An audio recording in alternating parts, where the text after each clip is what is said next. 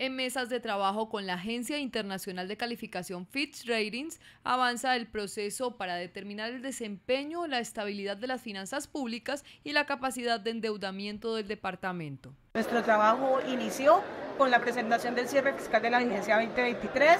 con la presentación de nuestro proyecto, nuestro programa de gobierno, las acciones y medidas que vamos a implementar y todo el trabajo y el esfuerzo que tiene la señora gobernadora Elian Francisca Toro para sacar adelante el Valle del Cauca. El Valle del Cauca espera mantener la calificación más alta en AAA como lo ha hecho desde el año 2019 que esta calificación es fundamental para poder acceder a los recursos del crédito que le van a traer desarrollo y beneficios a toda la comunidad vallecaucana. Es nuestra carta de presentación ante todos los estamentos del buen manejo fiscal, de la transparencia y sobre todo de la capacidad que tenemos de generar ingresos y de cumplir y honrar nuestras deudas.